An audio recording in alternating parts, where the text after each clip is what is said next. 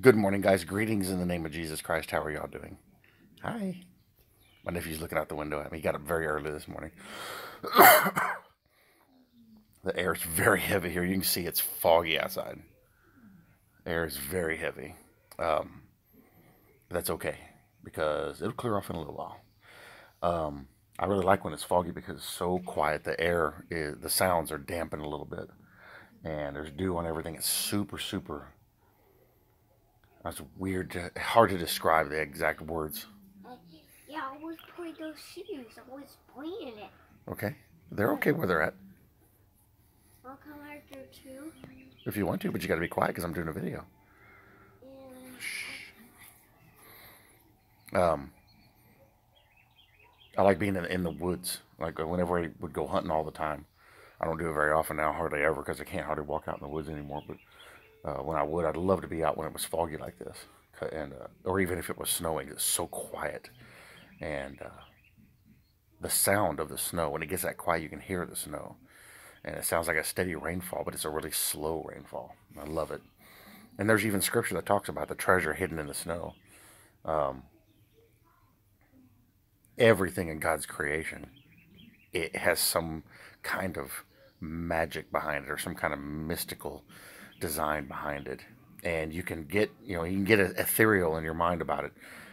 But the you know when the Bible talks about it, and then you go and you look at it, especially from a standpoint of, of a born again believer, you see those things in there, and it's awesome to see it.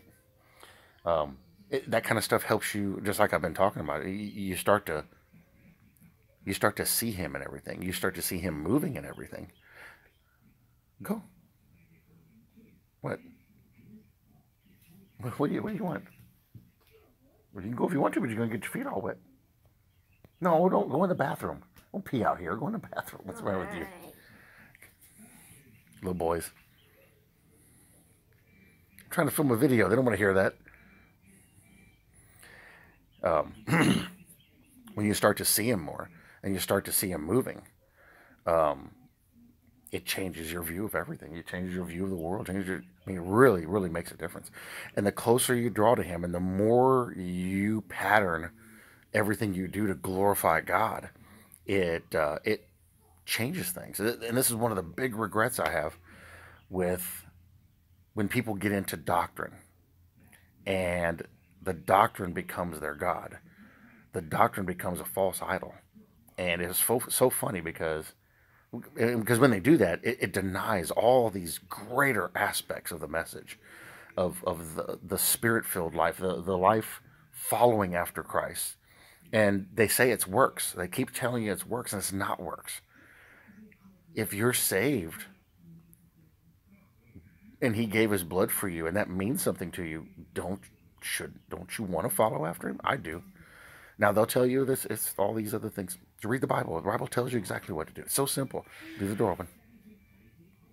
It's so simple, but because of doctrine, people don't want to preach that kind of message. And if you do, they come against you and they harass you like crazy. Hence, I reached out to Sherry Rich last night and uh, told her that you know it's probably my fault because because of what I did. And I told her I apologize. I said, you know, whatever differences we have, I'm uh, I love you and I don't I'm sorry that this is happening. Armor up. Be prepared. Um, and she responded very favorably back to it, and several other people did too. Uh, and one person in particular responded, and they said they worship their doctrine and not their God. And immediately I thought, that's exactly right. And I do believe there's scripture about that. And if I can find it, I'll do a video at noon about that. Um, but I that immediately hit me, and Sherry and a couple other people responded. They were like, "That, that's exactly right." And it is. You can end up making doctrine your god, and you can make uh, make it um, uh, an idol. And now you're idol worshiping. You're worshiping something other than God. Anything else that you worship in any way that's other than God is idol worship. And I'm looking at that, and it's like that's exactly what that is. Because the whole thing is uh, there's there's groups of people that are, uh, I guess, quote unquote religious, that it's this doctrine and that's it. You cannot deviate outside these parameters, and that's so wrong.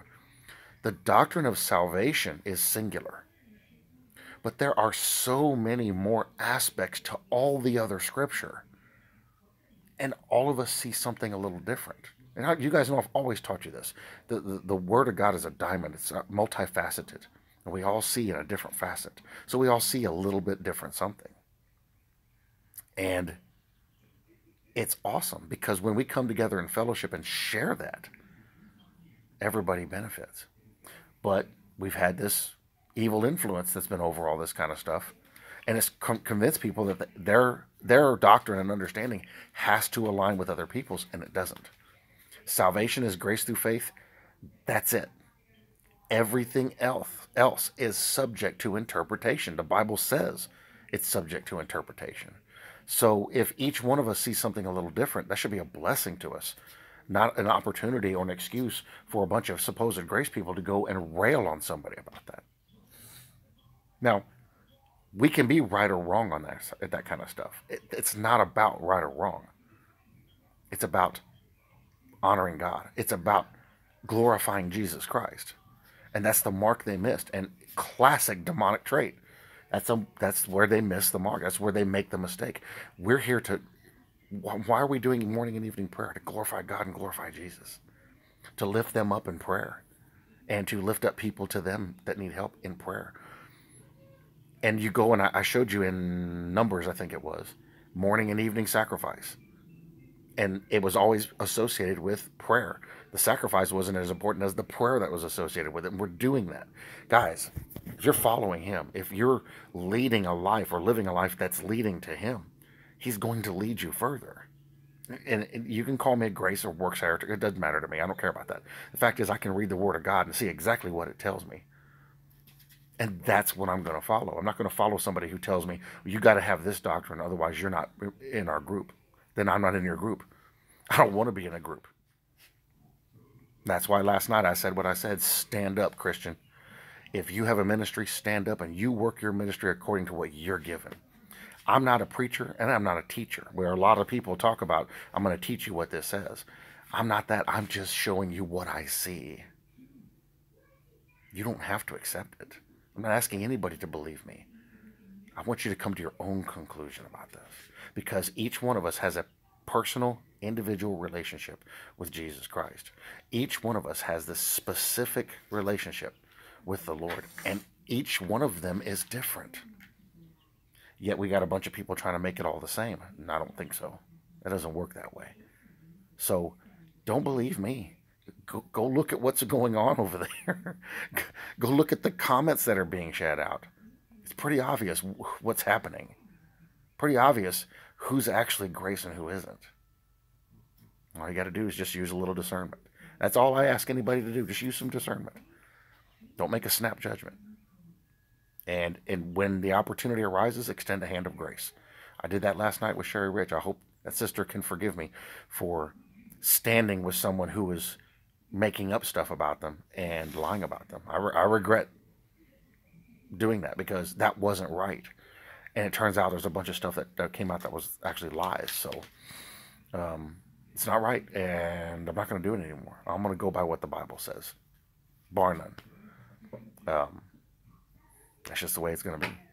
So this morning we're going to pray Psalm 32.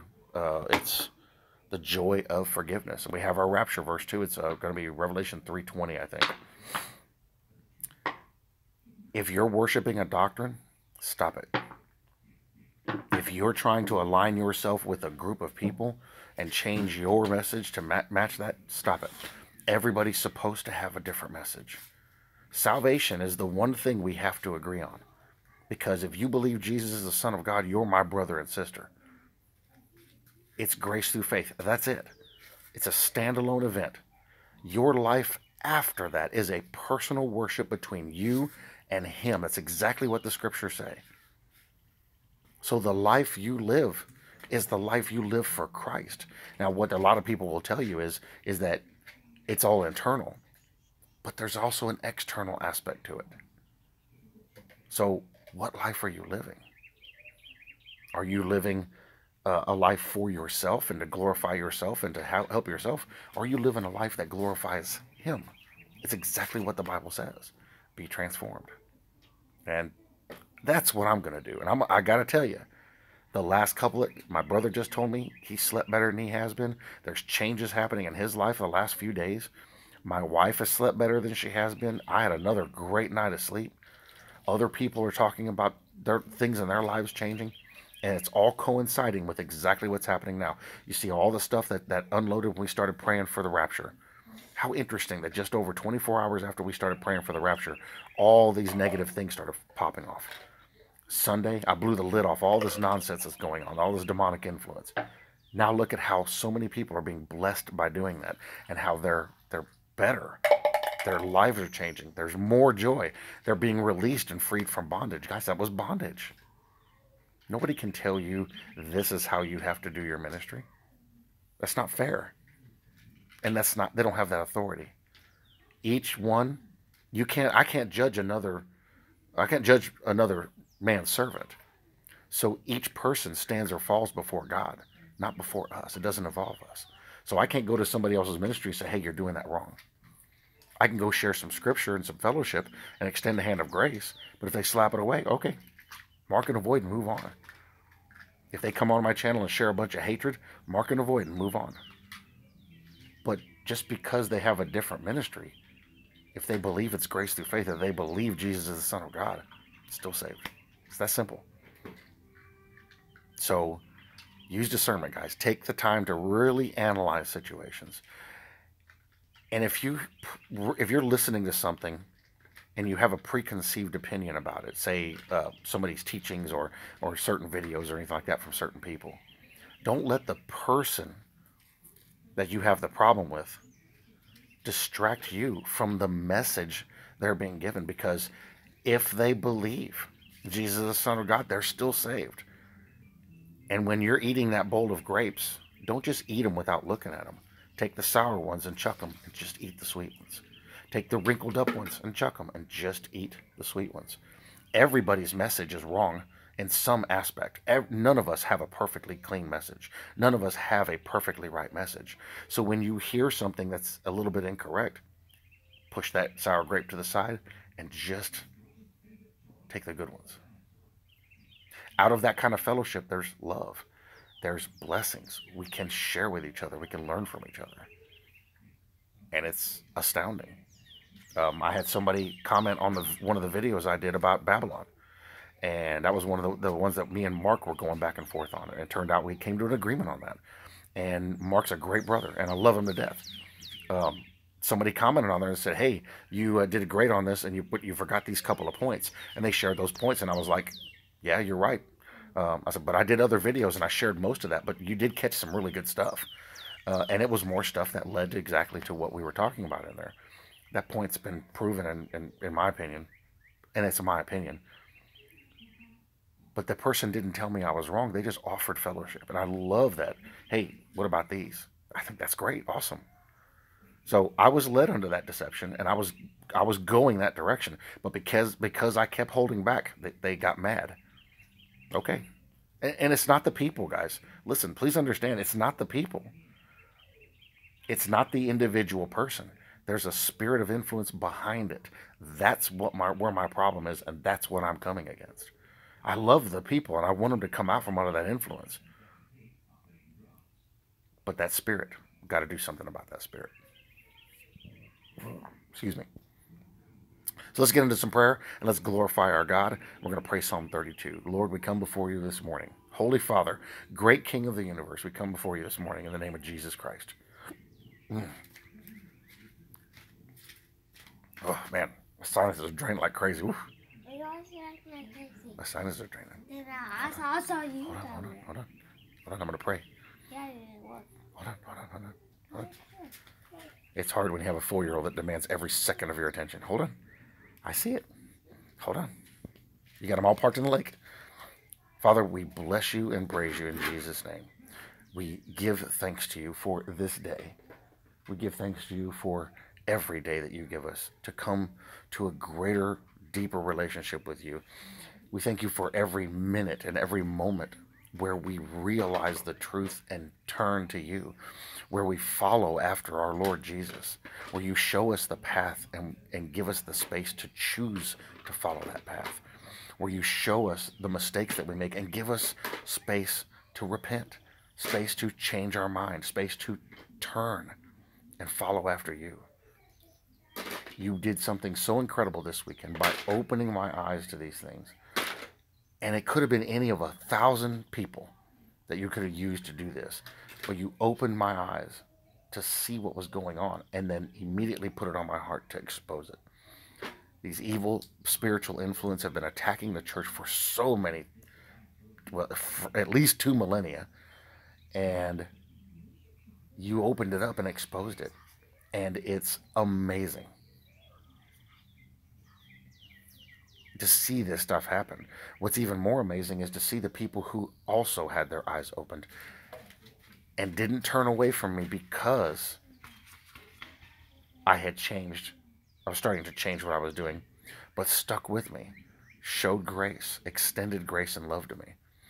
And now that we've blown the lid off it, these people are like, we've been watching this. We see this. We're with you on this. Thank you. Thank you, Lord, for this amazing group of people that fellowship with me. This amazing prayer team that I have because the strength and power that's going behind the prayers we're making are awesome. Father, we love you and we are so happy you called us out of this world, called us to be this and to do this, and called us up, many of us, a lot of us, up out of that deception to get us up here in the truth so we can follow after you. So we don't deny your word anymore. So we don't deny what Christ died for anymore. I want to follow my Lord. I want to follow my God. I want to be, be closer to you. And your word tells us how to do that. All we have to do is read it and not let other people tell us what to read, tell us how to read. All we have to do is do it. Father, we thank you for helping us do that. We thank you for opening this up to us to do that. With all the things that are happening in the world today, all the things that are going on, uh, all the really amazing things that are going on. The, the evidently there's a war happening. You're shining light on your people. You're calling them out and preparing them for the rapture. Thank you, Lord. Thank you. And bless you for being so kind and merciful and for showing us this love and this grace. And it's, I love it and it's awesome. And you know who loves you. Those of us that love you, we love you and we thank you for that. This morning, Father, I'd like to glorify you by praying Psalm 32, the joy of forgiveness, a psalm of David. Blessed is he whose transgression is forgiven, whose sin is covered. Blessed is the man to whom the Lord does not impute iniquity, and in whose spirit there is no deceit. When I kept silent, my bones grew old through my groaning all the day long. And Father, I got to stop there because I can relate to verse 3 because that's what was happening. And now that I've turned and changed and fought that off and you opened my eyes and got me out of that, that has now changed because I couldn't keep silent anymore. I can relate to that. For day and night your hand was heavy upon me. My vitality was turned into the drought of summer. Selah. I acknowledge my sin to you, and my iniquity I have not hidden. I said, I will confess my transgressions to the Lord, and you forgave the iniquity of my sin. Selah. For this cause everyone who is godly shall pray to you in a time when you may be found. Surely in a flood of great waters they shall not come near him. You are my hiding place. You shall preserve me from trouble. You shall surround me with songs of deliverance. Selah. I will instruct you and teach you in the way you should go. I will guide you with my eye. Do not be like the horse or like the mule, which have no understanding, which must be harnessed with bit and bridle, else they will not come near you. Many sorrows shall be to the wicked, but he who trusts in the Lord, mercy shall surround him. Be glad in the Lord and rejoice, you righteous, and shout for joy, all you upright in heart. What a perfect psalm to not only address what's happening, Father, but to glorify you in that this is what you're doing in us. I see all this stuff happening right now in the body. It's amazing. You know, my flesh wants to sit here and have regret for being deceived so long, for walking in darkness for so long. But your word says that you lead us through that darkness into the light. And so I look back and instead of regret, which is what I know what that's what Satan wants me to have, I now am in awe because I see everywhere you've led me through the darkness. And now we're stepping into the light. And you're bringing so many other brothers and sisters together the same way. And I know most of you have a testimony like this. Father, what, just what, what an incredible work to see happening and to be a part of it. And it, it's exhilarating to know you are a part of it, to know that you are leading me in this amazing direction. You are guiding me, and, and so many other brothers and sisters too. And it's, I'm awestruck with this, and just, it's so profound. And I know my brothers and sisters are experiencing this too. Thank you, Father, for this amazing, amazing grace that you are showing us. Father, I'd like to pray Revelation 3:10 for the rapture because we're watching for the rapture and we're praying for the rapture. Father, we noticed that at the time we started to do this in our morning and evening prayers, everything changed.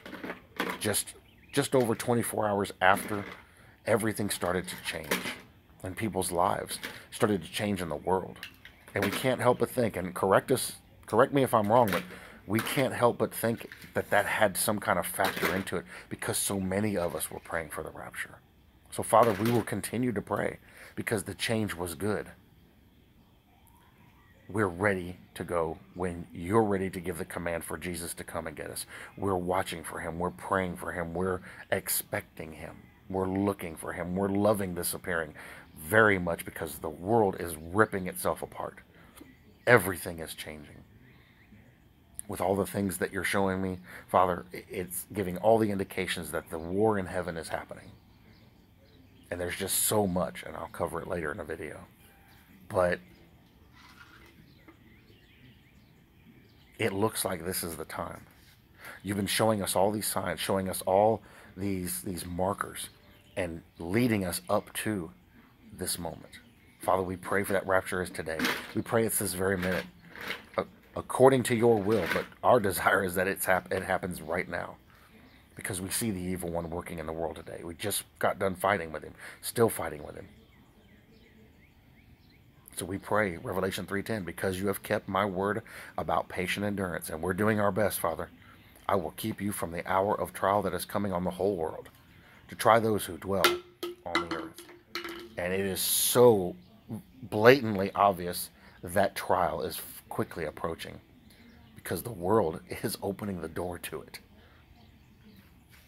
And it's not just those that are doing evil, it's those that you elected to do good are joining with them. We see them standing in solidarity with the people that are burning down their businesses. What? The world is lost. It is falling apart. Father, we pray that you give the command as soon as possible to send Jesus to come and to collect us and to pull us out of here. We thank you for this amazing rescue. We thank you for this amazing, the amazing gift of, of deliverance from this wrath that is coming. Bring us fully into your light. Put that light into our hearts and help us to keep our eyes looking upward at you. And help us to walk in a life that glorifies you, exactly like your word tells us to. We love you, Father, and we thank you for this incredible mercy and grace and love that you've shown us, especially in these last days. It is in Jesus' mighty name that we pray. Amen. Thank you guys for joining me for morning prayer. I even feel like prayer has changed since all this stuff has come apart. You know, once you see it, you can't unsee it. There are people out there that still can't see it, and they're making all kinds of accusations against me. I don't care. I see it and I know what it is. And it doesn't matter if anybody else sees it, it's still real. People say there is no rapture. They say the rapture is going to happen at a different time, we're all crazy. Well, it doesn't matter. Their opinion doesn't matter. It's still going to happen regardless because it's according to God's will, not our will. Huh? You need no more water. You gotta have breakfast first. Leave all that stuff here because it's all wet. No, we'll come out and play later. You gotta have breakfast first. You haven't had breakfast. Why? Because you gotta have breakfast. Sorry, little boy's gotta eat. Yeah. Otherwise, you'll be crabby because you get hangry. You get hangry. Like in the next 15 minutes, if you don't eat, you're to start getting all frustrated. So we're to have breakfast. See, I know this about you. Uncle Sean takes care of you.